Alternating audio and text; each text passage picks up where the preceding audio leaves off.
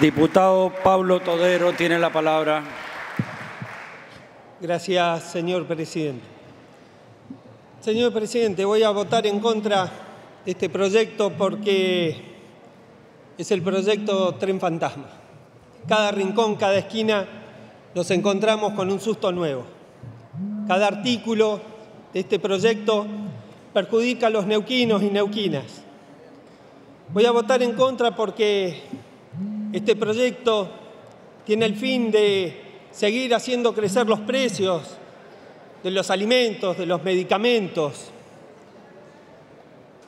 Mientras esos precios suben, los salarios de los jubilados van a quedar clavados.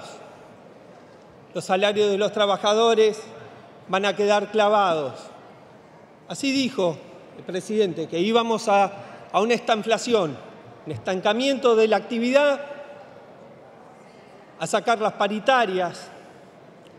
Pero aparte, este proyecto viene a darle las herramientas al presidente para que en mi provincia también se paren las obras, se pare el Hospital Norpatagónico, se pare un puente como el de la Rinconada que estamos esperando hace tantos años y le falta el 10% para terminarlo.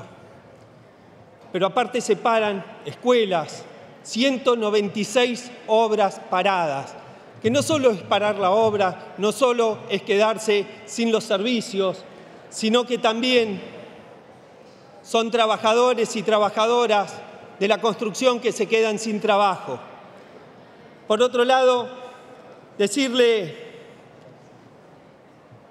que este proyecto le delega poderes monárquicos, le delega facultades extraordinarias a un presidente que ha dicho que los va a fundir a todos, que va a fundir a los gobernadores, que va a fundir a los, a los intendentes, pero por sobre todo va a fundir a todos y cada uno de los neuquinos y neuquinas, de los argentinos y argentinas.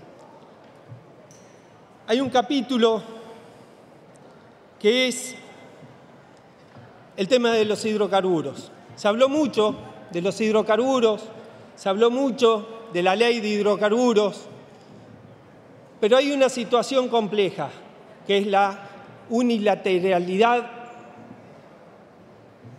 el capricho de algún empresario en particular y haber puesto toda una normativa desde el Poder Ejecutivo sin consultarle a ninguna de las provincias. Tuvieron que salir corriendo 10 gobernadores a juntarse para tratar de modificar una ley inconstitucional y pasar por arriba por de los gobernadores de las provincias que son los reales propietarios de esos recursos constitucionalmente. Esta ley que quiso vender vaca muerta, como dijo el presidente, quiso estatizar IPF.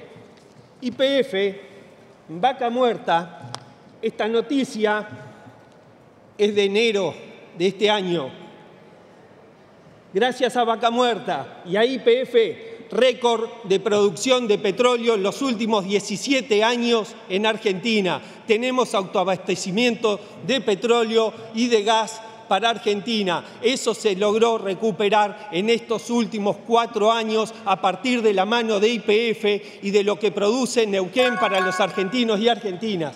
Y por otro lado, decirle que la desconsideración del presidente para con los argentinos y argentinas al, liberar los precios de los combustibles, realmente una situación complejísima que nos ha llevado a tener en este momento el valor del combustible por encima de Estados Unidos.